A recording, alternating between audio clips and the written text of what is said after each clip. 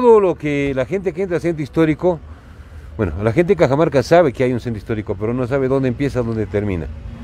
Y eso lamentablemente origina a veces muchos problemas que este, la gente no sabe dónde puede construir libremente o qué sé yo, o, adecuarse a las normas del centro histórico. Entonces, en ese sentido, con AESI y la municipalidad hemos hecho un esfuerzo y ahora estamos colocando una señalética donde diga bienvenido al centro histórico en todos los sitios en donde este, empieza el centro histórico. De tal forma de que este, ya colocamos 17 de esos este, señaléticas, nos falta colocar algo de 20 o 19 y en ese sentido ya el centro histórico va a estar prácticamente este, señalizado, la gente va a saber en el momento que está ingresando a este lugar.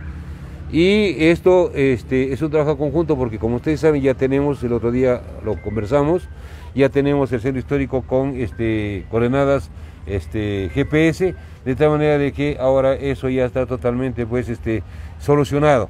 Y ese es el trabajo que estamos realizando y que ustedes lo han podido ver.